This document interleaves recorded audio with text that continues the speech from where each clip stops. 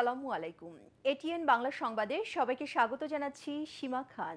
শুরুতেই সংবাদ শিরোনাম।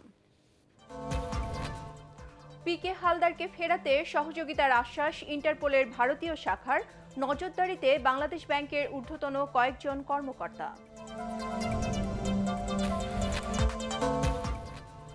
ইউক্রেন যুদ্ধের প্রভাবে কঠিন পরিস্থিতি মোকাবেলা করতে হতে পারে, আশঙ্কা প্রধানমন্ত্রীর, সবাইকে সাশ্রয়ী হওয়ার পরামর্শ।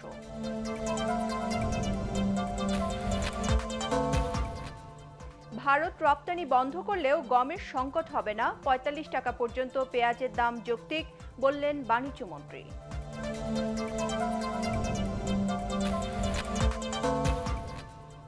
এবং দ্রুত ওভারটেকিং আর যত্রতত্র পারাপারের কারণে দুর্ঘটনা প্রবণ হয়ে উঠছে ঢাকা মাওয়া এক্সপ্রেসওয়ে।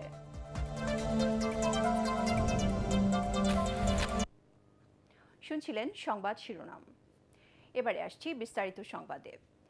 পিকে হালদারকে ফিরিয়ে আনতে সহযোগিতার আশ্বাস দিয়েছে ইন্টারপোলের ভারতীয় শাখা। একই সাথে যোগাযোগ করা হচ্ছে দেশটির সরকারের সাথেও। দুর্নীতি দমন কমিশনের বৈঠক শেষে এসব তথ্য জানান দুদকের ভারপ্রাপ্ত সচিব সাইদ মাহবুব খান। পিকে হালদারের অর্থ লোপাটের ঘটনায় বাংলাদেশ ব্যাংকের ঊর্ধ্বতন কয়েকজন কর্মকর্তাকে নজরদারিতে রেখেছে দুদক। মাহবুব কবির চপলের রিপোর্ট। পিকে হালদার ভারতে গ্রেফতার হবার পর তৎপরতা শুরু করেছে বাংলাদেশের বিভিন্ন সংস্থা। তাকে দেশে ফিরিয়ে আনার উপায় বের করতে বৈঠক করে দুর্নীতি দমন কমিশন। ইন্টারপোলের ভারতীয় শাখার সাথে যোগাযোগ করেন দুদক কর্মকর্তারা। সেখান থেকে ইতিবাচক সাড়া পাওয়া গেছে বলে জানান কমিশনের ভারপ্রাপ্ত সচিব। ইন্টারপোল অথরিটির সঙ্গে যোগাযোগ করবার পরে তারা আমাদের জানিয়েছেন যে তারা ইতিমধ্যেই ভারতের যে ইন্টারপোল অথরিটি রয়েছে তাদের যে ওখানে বডি রয়েছে এনসিবি সেখানে তারা যোগাযোগ করেছেন এবং ওই আসামিকে দ্রুত যাতে বাংলাদেশে ফেরত নিয়ে আসা যায় সে বিষয়ে ভারতীয় যে ইন্টারপোলের কাউন্টার পার্ট রয়েছে, তাদের সঙ্গে যোগাযোগ করেছেন। আমরা আশা করছি যে হয়তো যত দ্রুত সম্ভব সেটা করা হবে। চার মাস, ছয় মাস, কতদিনের মধ্যে ফেরত আনা যাবে, সেটা বলা কঠিন। কি পরিমাণ মামলা সেখানে হয়েছে বা সেই মামলাগুলোর বিচার কতদিন লাগবে অথবা বিচারের আগে ফেরত আনা যাবে কি যাবে না এই যে বিভিন্ন ইস্যু এটা আসলে সময়ের বিষয়টা সুনির্দিষ্ট করে বলা বলাটা আসলে সঠিক হবে না। এনআরবি গ্লোবাল ব্যাংকের এমডি থাকার সময় পি কে হালদার অন্তত দশ হাজার কোটি টাকা সরিয়ে আত্মসাৎ করেছেন। বাংলাদেশ ব্যাংকের তদারকি সত্ত্বেও কীভাবে এত টাকা বেরিয়ে গেছে তা নিয়ে প্রশ্ন ওঠে। জিজ্ঞাসাবাদ করা হয় তখনকার ডেপুটি গভর্নর এস কে সুর ও নির্বাহী পরিচালক শাহ আলম সহ ঊর্ধ্বতন কয়েকজনকে নিষেধাজ্ঞা দেওয়া হয় তাদের বিদেশ যাত্রায়। কয়েক বছর ধরে এই লন্ডারিংয়ের বিভিন্ন ঘটনাগুলো ঘটেছে। বাংলাদেশ ব্যাংকের যে অডিট টিমগুলো সেই সময় এগুলোতে অডিট করেছে, তাদের ব্যাপারেও আমরা জানেন দুদকে তাদেরকে ডাকাডাকি হয়েছে। আমরা দেখছি সেগুলো পর্যালোচনা করে। এটুকু নিশ্চিত যে যদি আমরা সুনির্দিষ্ট মামলা করবার মতো তথ্য পাই আমরা এ ব্যাপারে গলিমসি দুদকের পক্ষ থেকে হবে না। পিকে হালদারের অর্থ লোপাটের পেছনে আরও কেউ জড়িত কিনা তাও তদন্ত করছে দুদক। খুবই গুটি কয়েক আসামির মাহবুব কবির চপল এটিএন বাংলা ঢাকা। ফেরত আনা যাবে। রাঘব বোয়াল যেই হোক, দুর্নীতি ও অর্থ পাচারের বিষয়ে কোনো ছাড় নয় বলে মন্তব্য করেছে হাইকোর্ট। পিকে হালদার ইস্যুতে বিচারপতি নজরুল ইসলাম তালুকদার ও বিচারপতি কাজী ইজারুল হক আকন্দের দ্বৈত বেঞ্চ এ মন্তব্য করেন। এদিকে পিকে হালদারকে দেশে ফিরিয়ে আনা সময় সাপেক্ষ বলে জানিয়েছেন আইনজীবীরা। তবে তারা এও বলেন, পাচার করা অর্থ ফিরিয়ে আনা সম্ভব। হুমায়ুন চিস্তের রিপোর্ট। দেশের বিভিন্ন আর্থিক প্রতিষ্ঠান থেকে প্রায় পনেরো হাজার কোটি টাকা লোপাটের অভিযোগ আছে এনআরবি গ্লোবাল ব্যাংক ও রিলায়েন্স ফিনান্স লিমিটেডের সাবেক ব্যবস্থাপনা পরিচালক পি কে হালদারের বিরুদ্ধে। গত শনিবার পশ্চিমবঙ্গ থেকে তাকে গ্রেফতার করে ভারতের কেন্দ্রীয় গোয়েন্দা সংস্থা এনফোর্সমেন্ট ডিরেক্টরেট ইডি। পিকে হালদারকে গ্রেফতারের বিষয়টি সোমবার হাইকোর্টের নজরে আনার পাশাপাশি তাকে দেশে আনার বিষয়ে জারি করা রুল শুনানির আবেদন করেন রাষ্ট্রপক্ষের আইনজীবী। এ সময় পিকে হালদারকে গ্রেফতার করায় ভারত সরকারকে ধন্যবাদ জানানো উচিত বলে মন্তব্য করেন হাইকোর্ট। মানি লন্ডারিং এর বিষয়ে উনি বলছেন অর্থনৈতিক ক্রাইম বা মানি লন্ডারিং এর বিষয়ে এবং দুর্নীতির বিষয়ে কাউকে ছাড় দেওয়া হবে না। এই বিষয়ে জিরো টলারেন্স, রাঘব বোয়াল যেই হোক তার বিরুদ্ধেই আমরা ব্যবস্থা নেওয়ার জন্য নির্দেশনা দেব। ভারতের সাথে বন্দি বিনিময় চুক্তি থাকায় সব প্রক্রিয়া শেষে তিন থেকে ছয় মাসের মধ্যে পিকে হালদারকে দেশে আনা সম্ভব হবে বলে মনে করেন অ্যাটর্নি জেনারেল এম আমিনুদ্দিন। তবে বাংলাদেশ ব্যাংকের আইনজীবী আহসানুল করিম বলছেন এটি একটি সময় সাপেক্ষ প্রক্রিয়া। সাথে অফিসিয়াল পারপাসে যখন বাংলাদেশের পক্ষ থেকে যোগাযোগ করা হবে তখন তারা জানিয়ে জানাবেন। আমরা এখন অফিসিয়ালি যোগাযোগ করে তারপর এটা বলতে পারব। এখন তো বলতে পারছি না। তবে খুব বেশি সময় লাগার কথা না। হালদাবাবু যে অপরাধগুলো ইন্ডিয়া করেছে, তার সহযোগিতা, যে অপরাধগুলো ইন্ডিয়ায় করেছে, তার বিচার হবে ট্রায়াল হবে কনভিকশন হবে এবং কনভিকশন হয় সাজাটা কিন্তু এক্সট্রাডিশনের আন্ডারে আন্ডারে ওখানে যে সাজাটা দেবে, সে সাজাটা বাংলাদেশে এসে ভোগ করতে হবে। সুতরাং এটা যে আমি মনে করি যে তিন মাসের মধ্যে চার মাসের মধ্যে সমস্ত ট্রায়াল হয়ে যাবে হালদাবাবুকে বাংলাদেশে খুব শীঘ্রই ফিরিয়ে আনা যাবে এটা হয়তো বা প্রক্রিয়াগত কারণে নাও হতে পারে। অর্থ পাচার আইনের আওতায় পিকে হালদারের পাচার করা অর্থ ফেরত আনা সম্ভব বলে মনে করেন আইনজীবীরা। তখন ধরা পড়েছে বিচারের প্রক্রিয়া আরম্ভ হয়ে গেছে বিচার শেষ হলে কিন্তু এটা আসবেই। যারা ক্ষতিগ্রস্ত তাদের পক্ষে যখন আদেশ আসবে এই টাকাটা দেওয়ার যেমন আপনারা দেখছেন যে ডেস্টিনির মামলায়। এখানে কিন্তু আদালত আদেশ দিয়েছেন। এই ধরনের আদেশ হলে সেটা দিয়ে আমরা টাকাটা আনতে পারব। এবং প্রত্যেক দেশের সাথে প্রত্যেক দেশের একটা বাইন্ডিং একটা অব্লিগেশন আছে যে এক দেশের থেকে টাকা যদি অন্য দেশে এরকম লান্ডার হয়ে থাকে তো সেই ক্ষেত্রে যদি এরকম তদন্তে ধরা পড়ে সেই টাকাটা অন্য দেশ ফিরিয়ে দিতে বাধ্য। পিকে হালদারের বিরুদ্ধে মামলা রয়েছে সাঁত্রিশটি এর মধ্যে জ্ঞাত আয় বহির্ভূত সম্পদ অর্জনের মামলাটি বিচারাধীন।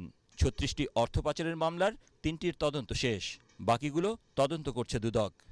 হুমায়ুন চিস্তি এটিএন বাংলা, ঢাকা। পিকে হালদারকে দ্রুত দেশে ফেরত আনতে বাংলাদেশ আগ্রহী বলে জানিয়েছেন পররাষ্ট্রমন্ত্রী ডক্টর এ কে আব্দুল মোমেন। রাজধানী বঙ্গবন্ধু আন্তর্জাতিক সম্মেলন কেন্দ্রে টেকসই অর্থনৈতিক উন্নয়ন নিয়ে আয়োজিত সেমিনার শেষে সাংবাদিকদের প্রশ্নের জবাবে তিনি একথা জানান। বন্দি বিনিময় চুক্তি থাকায় ভারত থেকে পিকে হালদারকে দেশে আনতে কোনো সমস্যা হবে না বলেও মনে করেন তিনি। তবে পররাষ্ট্রমন্ত্রী এও বলেন, ভারতীয় কর্তৃপক্ষ আনুষ্ঠানিকভাবে এখনও এ বিষয়ে কিছু জানায়নি। পররাষ্ট্র মন্ত্রণালয় এখনও ভারত সরকারের কাছ থেকে এই ব্যাপারে এখনও পায় নাই। আমার স্বরাষ্ট্র মন্ত্রণালয় পেয়েছে কিনা আমি যাই না। তারা স্বরাষ্ট্র মন্ত্রণালয়কে জানাতে পারে। তখন আমরা যা যা করার নীতিগতভাবে আমাদের সেট প্রসিডিওর নয় সেটা করব যাতে আমরা তাদের বিচারের সম্মুখীন করতে পারি। আমাদের সাথে যে ভারতের যে সোনালী অধ্যায় সম্পর্ক, তাতে অবশ্যই আমরা যে অগ্রাধিকার ভিত্তিতে যা করতে চাই, তারা আমাদের কথা শুনবেন। ইউক্রেন যুদ্ধের প্রভাবে দেশে যেন খাদ্যাভাব দেখা না দেয়, সেজন্য এখন থেকেই সবাইকে সাশ্রয়ী হওয়ার পরামর্শ দিয়েছেন প্রধানমন্ত্রী শেখ হাসিনা। টেকসই উন্নয়ন লক্ষ্যমাত্রার বাস্তবায়ন পর্যালোচনা বিষয়ক দ্বিতীয় জাতীয় সম্মেলনের উদ্বোধনী অনুষ্ঠানে তিনি এ পরামর্শ দেন। তিনি আশঙ্কা প্রকাশ করেন, আগামীতে কঠিন পরিস্থিতি মোকাবেলা করতে হতে পারে। দেশে মেগা প্রকল্পের সমালোচকদের জনগণের সুবিধার দিকটাও বিবেচনা করার কথা বলেন প্রধানমন্ত্রী। আপেল মাহমুদের রিপোর্ট। গণভবন থেকে ভার্চুয়ালি যুক্ত হয়ে রাজধানীর বঙ্গবন্ধু আন্তর্জাতিক সম্মেলন কেন্দ্রে আয়োজিত টেকসই উন্নয়ন লক্ষ্যমাত্রা, এসডিজি বাস্তবায়ন পর্যালোচনায় দ্বিতীয় জাতীয় সম্মেলনের উদ্বোধন করেন প্রধানমন্ত্রী শেখ হাসিনা। এসডিজি বাস্তবায়নে সরকারের পাশাপাশি বেসরকারি খাতের দায়িত্বের কথা স্মরণ করিয়ে দিয়ে প্রধানমন্ত্রী বলেন, যত বাধাই আসুক না কেন, টেকসই উন্নয়ন লক্ষ্যমাত্রা বাস্তবায়নে সব ধরনের প্রচেষ্টা অব্যাহত রাখবে সরকার। দেশের অর্থনীতিতে রাশিয়া ইউক্রেন যুদ্ধ ও করোনার প্রভাব নিয়ে জনগণকে সতর্ক করেন তিনি। আমি আমার দেশের মানুষকে এটা বলব যে প্রত্যেকে যার যার যতটুকু সামর্থ্য আছে নিজের খাদ্য উৎপাদন করা, নিজের খাদ্য সাশ্রয় করা এবং নিজের খাদ্যকে ব্যবহার করা বা আমাদের যা আছে সবগুলি ব্যবহার করার ক্ষেত্রে সবাই একটু সাশ্রয়ী হতে হবে। কারণ আমরা জানি কোভিড উনিশ এবং রাশিয়া ইউক্রেন যুদ্ধ।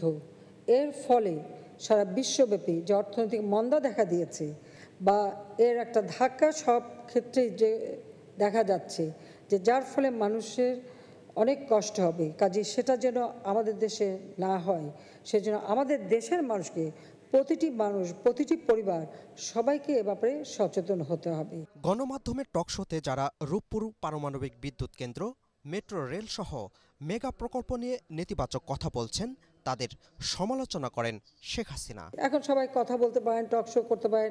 অবশ্য আমি জানি যে অনেক কথা বলার পরে বলবেন, আমাদের কথা বলতে দেয়া হয় না। কিন্তু যখন টক শোতে কথা বলেন, কেউ তো আপনাদের মুখ চেপেও ধরেনি বা গলা টিপেও ধরেনি। সবাই যার যার ইচ্ছা মতো বলতে পারেন। তো সবাইকে আমি বলব আগে বাংলাদেশটা একটু ঘুরে আসেন, গ্রাম পর্যায়ে যান, সেখানে মানুষ কী অবস্থা আছে একটু দেখে এসে, তারপর কথা বললে আপনারা হয়তো জানতে পারবেন। এসডিজি বাস্তবায়নে বর্তমান অর্থনৈতিক পরিস্থিতি পর্যালোচনা করে ভবিষ্যৎ পরিকল্পনা নিতে সংশ্লিষ্টদের প্রতি আহ্বান জানান প্রধানমন্ত্রী। আপেল মাহমুদ এটিএন বাংলা, ঢাকা। ভারত রপ্তানি বন্ধ করলেও গমের সংকট হবে না। আর পঁয়তাল্লিশ টাকা পর্যন্ত পেঁয়াজের দাম যৌক্তিক। সচিবালয়ের সেক্রেটারিয়েট রিপোর্টার্স ফোরাম আয়োজিত সংলাপে বাণিজ্য মন্ত্রী টিপু মুন্সি এসব কথা বলেন। আগামী মাস থেকে সারা দেশে এক কোটি মানুষের কাছে টিসিবির মাধ্যমে সাশ্রয়ী দামে তেল বিক্রি করা হবে বলেও জানান তিনি। ফজলে রাব্বি রিপোর্ট। ইউক্রেন যুদ্ধের কারণে সূর্যমুখী তেলের সরবরাহ বন্ধ হয়ে গেছে। ইন্দোনেশিয়া ও মালয়েশিয়া রপ্তানি বন্ধ করেছে পাম অয়েল ফলে ভোজ্য তেলের সব চাপ পড়েছে সয়াবিন তেলের উপর। একইভাবে এখন অস্থির বিশ্বের অধিকাংশ নিত্যপণ্যের বাজার। তাই সবাইকে সাবধানী হওয়ার পরামর্শ বাণিজ্যমন্ত্রীর তেলের দাম আজকে একশো তেরো ডলার আজকের বাজারে। যেটা ছিল ষাট পঁয়ষট্টি ডলার। আলটিমেট ইম্প্যাক্ট তো সবার কাছেই পড়বে। যুদ্ধ যদি লম্বা হয় সমস্যা আসবে আমরা যেন যে যেখানে আছি সেইখান থেকেই যেন সাশ্রয়ী বিএসআরএফ সংলাপে বাণিজ্যমন্ত্রীর কাছে প্রশ্ন ভরা মৌসুমে পেঁয়াজের কেজি কেন পঞ্চাশ টাকা। আমাদের একটাই কথা কৃষকরা যেন পঁচিশ টাকা পায় সেটা লক্ষণ কৃষকের যখন বেঁচেছে তখন কিন্তু পঁচিশ টাকা দরেই বিক্রি করেছে। এখনও যে সমস্যা অতএব পঁয়তাল্লিশ টাকা দরে ঢাকা শহরের মানুষকে আমি মনে করি দ্যাট ইজ রিজনেবল জন্য ভারত বন্ধ করে দিয়েছে গম রপ্তানি। কেজিতে দাম বেড়েছে দশ থেকে পনেরো টাকা। জবাবে বাণিজ্যমন্ত্রী বললেন এ নিয়ে কাজ করছে সরকার। আমরা চেষ্টা করছি পৃথিবীর আরও গম উৎপাদনকারী পাঁচটা দেশের সাথে জি টু জি ব্যবস্থা করা সোদের জন্য সাপ্লাইটা ঠিক রাখা যায়। ভারতের সাথেও যে বন্ধ করে দিয়ে যে আমরাও আমরা যে পাবো না এমনটা কিন্তু তারা কিন্তু পরিষ্কার বলেছে নেইবারিং কান্ট্রি যাদের নিড আছে, তাদের ব্যাপার তারা কনসিডার করবে। আমরা ভেরি মাস হোপফুল যে ভারত থেকে এই বন্ধটা বাংলাদেশের ক্ষেত্রে আমরা ব্যবস্থা করতে পারব এদিকে সোমবার থেকে টিসিবির মাধ্যমে তেল বিক্রির কথা থাকলেও সারা দেশের মানুষের কথা বিবেচনায় নিয়ে তা স্থগিত করা হয়েছে বলে জানান বাণিজ্যমন্ত্রী। জুন মাস থেকে সারা দেশে এক কোটি মানুষের কাছে টিসিবির মাধ্যমে তেল বিক্রি শুরু হবে বলেও জানান তিনি। ফজলে রাব্বি এটিএন বাংলা ঢাকা। চাঁদাবাজ, মাদক ব্যবসায়ী, চোরা কারবারি এবং সন্ত্রাসের সাথে জড়িতদের আওয়ামী লীগে কোনো স্থান নেই বলে জানিয়েছেন দলটির সাধারণ সম্পাদক ওবায়দুল কাদের। তিনি বলেন, আগামী নির্বাচনে প্রধানমন্ত্রী শেখ হাসিনার নেতৃত্বে বিজয় ছিনিয়ে আনতে দলে ত্যাগী ও সৎ মানুষের নেতৃত্ব প্রতিষ্ঠা করতে হবে। মেহেরপুর জেলা আওয়ামী লীগের ত্রিবার্ষিক সম্মেলনে ভার্চুয়ালি যুক্ত হয়ে তিনি এসব কথা বলেন। এ সময় কোনো বিষয়ে বাড়াবাড়ি না করে বিএনপি নেতাদের ইতিহাস থেকে শিক্ষা নেওয়া প্রয়োজন বলে মন্তব্য করেন ওবায়দুল কাদের। ক্ষমতার দাপট কেউ দেখাবেন না। দুঃসময়ের কর্মীদের মূল্যায়ন করেন চাঁদাবাদী ভূমি দখলকারী, মাদক সেবী, দুর্নীতিবাজ। এই সব লোকের আওয়ামী লীগে কোনো স্থান নেই। খারাপ লোকদেরকে নিজের দল ভারী করার জন্য আওয়ামী লীগে টানবেন না। আওয়ামী লীগ সভাপতি শেখ হাসিনার দেশে ফিরে আসার মধ্য দিয়ে গণতন্ত্রের প্রত্যাবর্তন হয়েছিল বলে মন্তব্য করেছেন তথ্য সম্প্রচার মন্ত্রী ডক্টর হাসান মাহমুদ। তার মতে, বিএনপির প্রতিষ্ঠাতা জিয়াউর রহমানের শাসনামলে দেশের বাক্সবন্দি গণতন্ত্র শেখ হাসিনার নেতৃত্বে মুক্ত হয়েছিল। প্রধানমন্ত্রী শেখ হাসিনার স্বদেশ প্রত্যাবর্তন দিবস উপলক্ষে জাতীয় জাদুঘর মিলনায়তনে আওয়ামী লীগের বন ও পরিবেশ উপকমিটির আলোচনা সভায় হাসান মাহমুদ এসব কথা বলেন। একচল্লিশ বছরের পথ চলায় সমস্ত প্রতিবন্ধকতাকে উপড়ে ফেলে জননেত্রী শেখ হাসিনা বাংলাদেশের মানুষের পাশে থেকেছেন এবং আছেন। তার নেতৃত্বেই বাংলাদেশে গণতন্ত্র বাক্সবন্দি থেকে মুক্ত হয়েছে। তার নেতৃত্বেই বাংলাদেশের মানুষের অর্থনৈতিক মুক্তি এসেছে। তার নেতৃত্বেই বাংলাদেশে মুক্তিযুদ্ধের চেতনা পুনঃপ্রতিষ্ঠিত হয়েছে। সরকার নতুন কৌশলে ইভিএম এর মাধ্যমে নির্বাচন করে ক্ষমতা দখলের পায়তারা করছে বলে অভিযোগ করেছেন বিএনপির স্থায়ী কমিটির সদস্য ডক্টর খন্দকার মোশাররফ হোসেন। জাতীয় প্রেস ক্লাবে এক আলোচনা সভায় তিনি এ অভিযোগ করেন। তার ভাষায়, এবার ইভিএম এর মাধ্যমে জনগণের সাথে প্রতারণার কৌশল নিয়েছে সরকার। খন্দকার মোশাররফ আরও বলেন, গত নির্বাচনগুলোতে প্রমাণিত হয়েছে এ সরকারের অধীনে সুষ্ঠু, নিরপেক্ষ নির্বাচন সম্ভব নয়। তাই তাদের অধীনে কোনো নির্বাচনে যাবে না বিএনপি সব ধরনের কুবুদ্ধি আপনারা ব্যবহার করে ফেলছেন। আর কোনো কুবুদ্ধি কাজে দিবেন এই দেশে। আমরা বলছি, শেখ হাসিনার অধীনে নির্বাচনে আমরা যাব না। আমরা নই এখন, সারা বাংলাদেশের মানুষ বলছে যাবে না। দল বলছে, বিভিন্ন দল বলছে যাবে না। যদি তারা তাদের বোধোদয় না হয়, তাহলে তাদেরকে হটাবো। দুই বছরে মৌলিক বিষয়গুলো বাস্তবায়নে সফল হওয়ার দাবি করেছেন ঢাকা দক্ষিণ সিটি কর্পোরেশনের মেয়র ব্যারিস্টার শেখ ফজলে নূর তাপস। দায়িত্ব গ্রহণের দুই বছর পূর্তি উপলক্ষে আয়োজিত সংবাদ সম্মেলনে তিনি বলেন, তার সময়ে পুরোপুরি দুর্নীতিমুক্ত প্রতিষ্ঠানে পরিণত হয়েছে ঢাকা দক্ষিণ সিটি কর্পোরেশন। মশা নিয়ন্ত্রণে সফল বলেও এ সময় দাবি করেন তিনি। শফিকুল ইসলাম শামীমের রিপোর্ট। করোনা মহামারীর মধ্যে দুবছর আগে দায়িত্ব নেন ঢাকা দক্ষিণের মেয়র ব্যারিস্টার শেখ ফজলে নূর তাপস। নানা প্রতিবন্ধকতা কাটিয়ে দুর্নীতিমুক্ত প্রতিষ্ঠান হিসেবে ডিএসসিসিকে গড়ে তুলতে পেরেছেন বলে সংবাদ সম্মেলনে দাবি করেন তিনি। জুলাই থেকে ঢাকা দক্ষিণের ফুটপাত হকার মুক্ত করার পরিকল্পনার কথাও তুলে ধরেন মেয়র তাপস।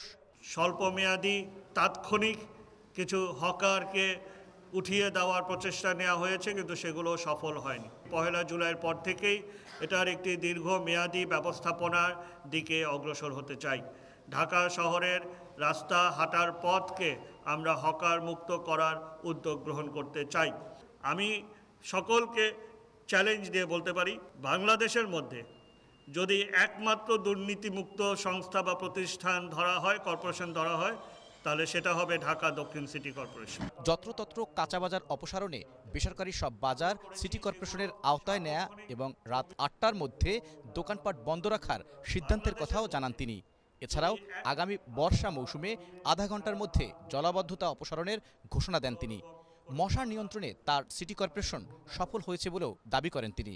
ঢাকা শহরে ব্যবসা বাণিজ্য করতে হলে অবশ্যই বাণিজ্য অনুমতি নিতে হবে। হালনাগাদ বাণিজ্য অনুমতি ছাড়া কাউকে ব্যবসা করতে দেয়া হবে না। গত বর্ষা মৌসুমে আমরা এক ঘণ্টার মধ্যে আমরা জলাবদ্ধতা নিরসন করেছি। এবার আমাদের লক্ষ্য হলো আধা ঘণ্টার মধ্যে আমরা ঢাকাবাসীকে জলাবদ্ধতা মুক্ত করব।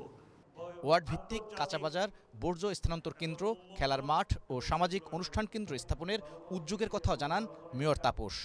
শফিকুল ইসলাম শামীম, এটিএন বাংলা, ঢাকা।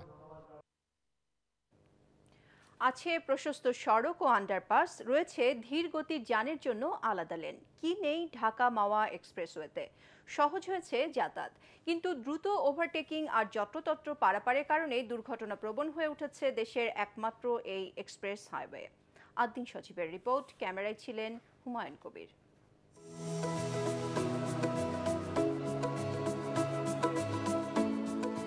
যেন দুবাই, ইউরোপ, আমেরিকার কোনো দ্রুতগতির এক্সপ্রেসওয়ে। আধুনিক ট্রাফিক ডিজাইন, সার্ভিস লেনের দুপাশে সবুজ বনায়ন, কি দৃষ্টিনন্দন। একসময়ের দুর্গম যোগাযোগ ব্যবস্থার আমূল পরিবর্তনে বদলে গেছে এ অঞ্চলের মানুষের জীবন। চোখ জোড়ানো উন্নয়ন এখন পদ্মার এপাড় ওপাড়। পদ্মা সেতু চালু হলে ঢাকা থেকে পদ্মা সেতু হয়ে ভাঙা যেতে সড়ক পথে সময় লাগবে মাত্র পঁয়তাল্লিশ মিনিট। আগে যা লাগতো পাঁচ ছয় ঘণ্টা। এই মুন্সিগঞ্জের রাস্তাটা আগের থেকে মনে করেন আসতে হতো আমাদের তিন ঘণ্টা চার ঘণ্টা লাগতো। এখন আমাদের এই রাস্তা ভালো হওয়াতে আমাদের সময় লাগে এক ঘণ্টা। মুন্সিগঞ্জের হাইওয়ে পুলিশের সবশেষ তথ্য দু হাজার বিশের পয়লা জানুয়ারি থেকে চোদ্দ মাসে ঢাকা মাওয়ার এই পথে উনআশি সড়ক দুর্ঘটনায় মৃত্যু হয়েছে পঁয়ষট্টি জনের। আহত সাতষট্টি জন, যার মধ্যে সবচেয়ে বেশি মারা গেছে মোটরসাইকেল দুর্ঘটনা আর পথচারী চাপা পড়ে। এরকমভাবে দুর্ঘটনা হয়েছে যে একেবারে সুইটা এরকম পায় সুইটা এদিকে এসে পড়ছে এই জায়গাটার সাথে বাড়ি খেয়েছে যাত্রী সাউনি থেকে আপনার সামনাসামনি হতো তাহলে একটা কথা আছে কিন্তু যাত্রী সাউনি থেকে আপনার ওভার ব্রিজ অনেক দূরে। এত দূর তো চলে অ্যাক্সিডেন্ট হওয়ার সম্ভাবনা থাকে। বাসে উঠতে অনেকের ঝুঁকি নিয়ে রাস্তা পার তাই এক্সপ্রেসওয়েতে বাস বেয়ে রাখা না রাখার বিষয়টি সংশ্লিষ্টদের আরও ভাবার তাগিদ কারও কারও। সুন্দরের সবকটা বিশেষণ দিয়েও এই মহাসড়ককে ব্যাখ্যা করা সত্যিই কঠিন অন্তত বাংলাদেশের বেলায়। কেননা এমন সড়ক যে দেশে দেখা মেলাই ভার, মন জুড়িয়ে যায় সত্যি। কিন্তু এই সড়কে দ্রুত চলাচল করতে গিয়ে অনেকেই প্রাণ হারাচ্ছেন, অনেকেই দুর্ঘটনার শিকার হয়ে বন্ধুত্ব বরণ করছেন। তাই সচেতনতার কোনোই বিকল্প নেই। আদিন সজীব এটিএন বাংলা, ঢাকা মাওয়া মহাসড়ক সফররত ভারতের জাতীয় পুরস্কার বিজয়ী চলচ্চিত্র নির্মাতা গৌতম ঘোষ এবং প্রখ্যাত চলচ্চিত্র পরিচালক সত্যম রায়চৌধুরী গণভবনে প্রধানমন্ত্রী শেখ হাসিনার সঙ্গে সৌজন্য সাক্ষাৎ করেছেন। তারা কলকাতায় থাকাকালীন বঙ্গবন্ধুর জীবন এবং রাজনৈতিক ক্যারিয়ারে তার সংগ্রামের উপর গৌতম ঘোষ নির্মিত কলকাতায় বঙ্গবন্ধু শীর্ষক তথ্যচিত্র নিয়ে আলোচনা করেন। জাতির পিতার কনিষ্ঠ কন্যা শেখ রেহানা ও দহিত্র রাদবান মুজিব সিদ্দিক এ সময় উপস্থিত ছিলেন। গৌতম ঘোষ ও সত্যম রায় চৌধুরীর সামনে ডকুমেন্টারিটির রূপরেখা তুলে ধরেন শেখ হাসিনা এবং শেখ রেহানা। তারা কলকাতায় ছাত্র জীবনে বঙ্গবন্ধুর সংগ্রাম ও কষ্টের দিনগুলো বর্ণনা করেন। রেলমন্ত্রী নুরুল ইসলাম সুজনের আত্মীয় পরিচয়ে পাবনার ঈশ্বরদীতে বিনা টিকেটে ট্রেন ভ্রমণকারী যাত্রীদের সঙ্গে অসদাচরণের অভিযোগে টিটি শফিকুল ইসলামকে সাময়িক বরখাস্তের ঘটনায় তদন্ত কমিটির প্রতিবেদনে তিনি নির্দোষ প্রমাণিত হয়েছেন। সকালে তদন্ত কমিটির প্রধান পাকশি বিভাগীয় সহকারী পরিবহন কর্মকর্তা সাজিদুল ইসলাম সহ তদন্ত কমিটির অন্য সদস্যরা বিভাগীয় রেলওয়ে ব্যবস্থাপক শাহিদুল ইসলামের কাছে তাদের প্রতিবেদন জমা দেন। এতে শফিকুল ইসলাম নির্দোষ প্রমাণিত হন। ঘটনার দিন ট্রেনের দায়িত্বরত গার্ড শরীফুল ইসলামের প্ররোচনায় ট্রেন যাত্রী প্রান্ত টিটি শফিকুলের বিরুদ্ধে অভিযোগ করেন বলে প্রতিবেদনে উঠে এসেছে।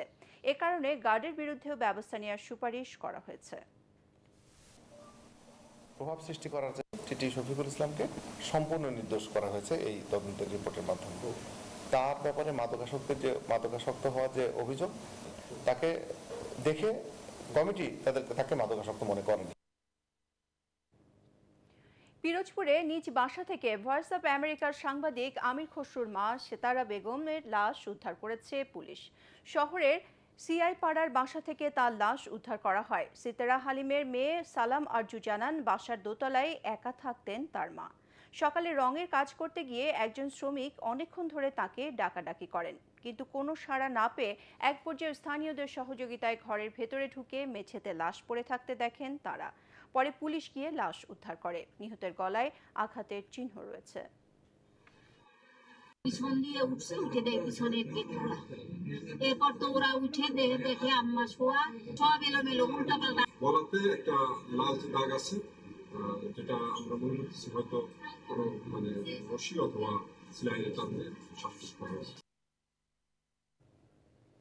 চালের বাজার স্থিতিশীল রাখতে সরকার কঠোর অবস্থানে থাকবে বলে জানিয়েছেন খাদ্যমন্ত্রী সাধন চন্দ্র মজুমদার। সুনামগঞ্জের শান্তিগঞ্জে খাদ্য গুদাম পরিদর্শনের সময় তিনি একথা জানান। বর্তমানে চালের যে দাম রয়েছে তা আরও কমানো হলে কৃষকরা বড় দাগে ক্ষতিগ্রস্ত হবেন বলেও মন্তব্য করেন তিনি। খাদ্যমন্ত্রী আরও বলেন, বাজারে ভারসাম্য ঠিক রাখতে ধানের দাম মন প্রতি এক হাজার আশি টাকা করা হয়েছে।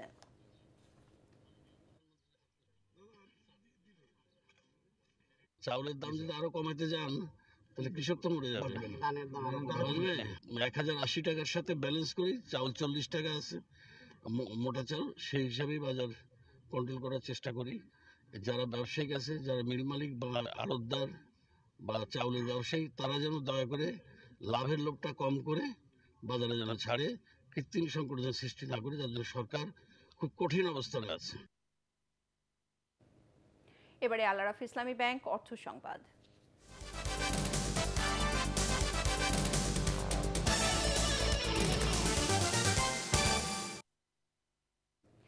পবিত্র ঈদ উল আজহা উপলক্ষে সারা দেশে শুরু হয়েছে ওয়ালটনের ডিজিটাল ক্যাম্পেইন সিজন পনেরো। ওয়ালটন কর্পোরেট অফিসে নতুন এই ক্যাম্পেইন চালুর ঘোষণা দেওয়া হয়। এর আওতায় ওয়ালটন প্লাজা শোরুম বা অনলাইন ই প্লাজা থেকে fridge, TV, AC, washing machine, oven, blender, gas stove, rice cooker এবং ফ্যান কিনে ক্রেতারা পেতে পারেন বিশ লাখ টাকা পর্যন্ত নিশ্চিত ক্যাশব্যাক। রয়েছে কোটি কোটি টাকার ওয়ালটন পণ্য ফ্রি। ওয়ালটন হাইটেক ইন্ডাস্ট্রিজ পিএলসির উপব্যবস্থাপনা পরিচালক নজরুল ইসলাম সরকার, এমদাদুল হক সরকার, ইভা রিজওয়ানা নীলু ও হুমায়ুন কবির, প্লাজা ট্রেডের প্রধান নির্বাহী কর্মকর্তা মোহাম্মদ রায়হান এ সময় উপস্থিত ছিলেন। এবারে আন্তর্জাতিক সংবাদ।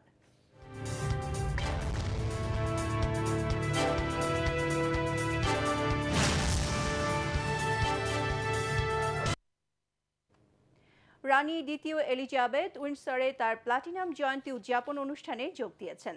অসুস্থতা ও বার্ধক্যজনিত কারণে প্রায় ষাট বছরের মধ্যে এই প্রথম ব্রিটিশ পার্লামেন্ট উদ্বোধন করতে না পারলেও প্লাটিনাম জয়ন্তীতে যোগ দেন তিনি। হলিউড অভিনেতা টম ক্রুজ ও হেলেন মিরেন সহ অশ্বারোহীরা ছিয়ানব্বই বছর বয়সী রানী এলিজাবেথকে অভিনন্দন জানান। রানীর প্ল্যাটিনাম জুবিলির জন্য চার দিনের সরকারি উদযাপনের পরিকল্পনা করা হয়েছে জুনের প্রথম দিকে। এর মধ্যে সামরিক কুচকাওয়াজ ও গণপ্রতিযোগিতা, পিকনিক এবং পপ কনসার্টও রয়েছে। উনিশশো তেষট্টি সালের পর এই প্রথম তিনি পার্লামেন্টের প্রথম অধিবেশনে অনুপস্থিত ছিলেন। তার বড় ছেলে প্রিন্স চার্লস এবছর পার্লামেন্টের রাষ্ট্রীয় উদ্বোধন করেন।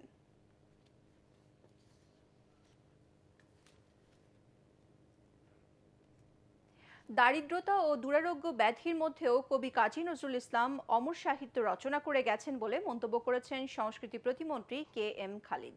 কবির বিদ্রোহী কবিতার শতবর্ষ উপলক্ষে জাতীয় জাদুঘরে আয়োজিত আলোচনা সভায় তিনি এ মন্তব্য করেন। কাজী নজরুল ইসলামের একশোটি প্রবন্ধ নিয়ে একটি বই প্রকাশ করা হয়েছে বলেও জানান তিনি। সংস্কৃতি সচিব আবুল মনসুর, কবির নাতনি খিলখিল কাজী কাজী নজরুল ইনস্টিটিউটের নির্বাহী পরিচালক জাকির হোসেন এ সময় উপস্থিত ছিলেন।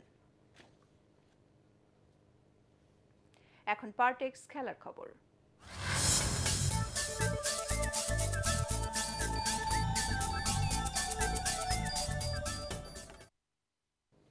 চট্টগ্রাম টেস্টের দ্বিতীয় দিন শেষে প্রথম ইনিংসে শ্রীলঙ্কার চেয়ে তিনশো একুশ রানে পিছিয়ে বাংলাদেশ। হাতে আছে দশ উইকেট।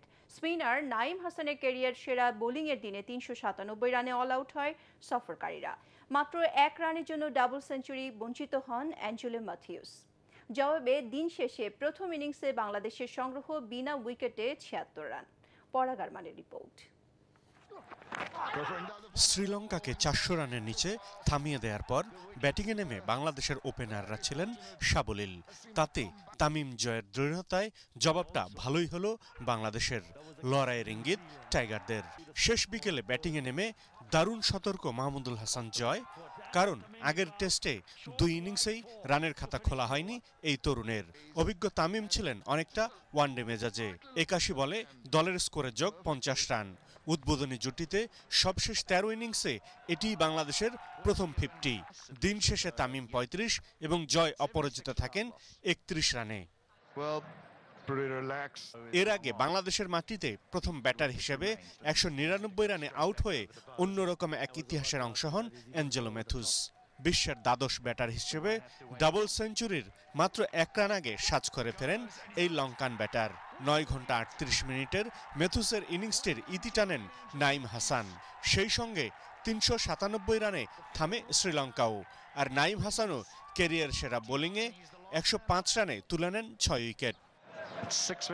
আগের দিনের চার উইকেটে দুইশো আটান্ন রান নিয়ে খেলতে নেমে দ্বিতীয় দিনের প্রথম সেশনের শেষ ভাগ ও দ্বিতীয় সেশনের শুরুর দিকে মাত্র বিশ বলের মধ্যে চার উইকেট তুলে নিয়ে লঙ্কানদের দ্রুত অল আউটের যে সম্ভাবনা জাগিয়েছিলেন নাইম হাসান ও সাকিব আল হাসান, তা নস্বাত হয় বিশ্ব ফার্নান্ডো এবং অ্যাঞ্জেলো মেথুসের প্রতিরোধে।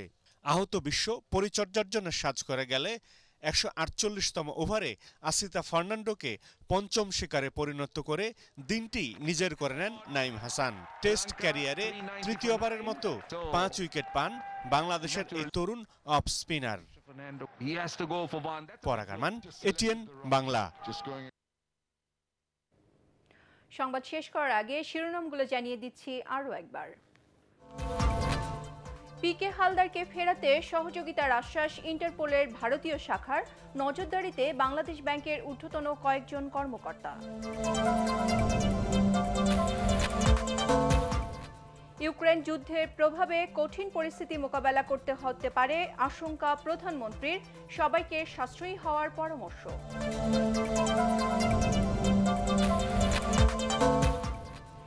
ভারত রপ্তানি বন্ধ করলেও গমের সংকট হবে না। পঁয়তাল্লিশ টাকা পর্যন্ত পেঁয়াজের দাম যৌক্তিক বললেন বাণিজ্যমন্ত্রী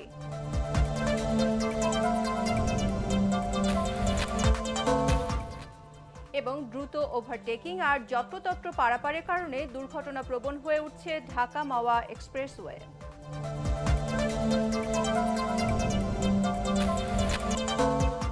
পরবর্তী সংবাদ দেখার আমন্ত্রণ জানিয়ে এখনকার মতো শেষ করছি। করোনা ভাইরাস থেকে নিজেকে সুরক্ষিত রাখতে মাস্ক পরুন, বারবার হাত পরিষ্কার করুন। এটিএন বাংলা সংবাদ, ইউটিউবে দেখতে ব্রাউজ করুন, YouTube slash ATN Bangla news ধন্যবাদ সবাইকে।